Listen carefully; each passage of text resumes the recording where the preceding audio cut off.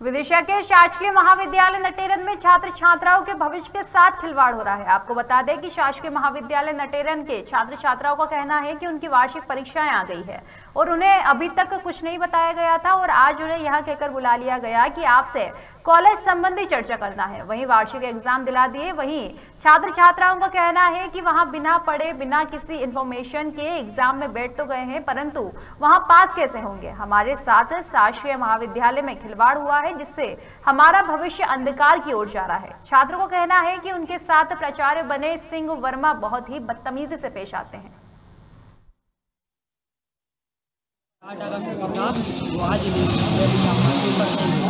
पे पहले जानकारी दी गई या नहीं दी गई? तैयारी करके आए तो मैं बिना पढ़े भी कर दिया। पास हो गए या फिर कॉपी खाली छोड़ के आए कॉपी खाली छोड़ के आए।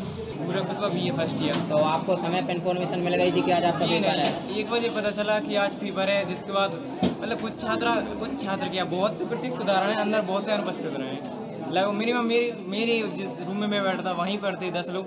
और कुछ लोग तो पाँच बजे मतलब छः बजे लास्ट था पाँच बजकर मतलब कुछ मिनट पर पेपर देने आए थे तो अब सिचुएशन आप देख सकते हैं।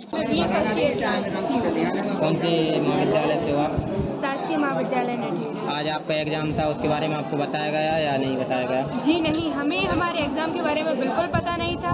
ना ही हमें इन्फॉर्मेशन दी गई थी कि आज हमारा पेपर है। हमारा पेपर जबकि 6 अगस्त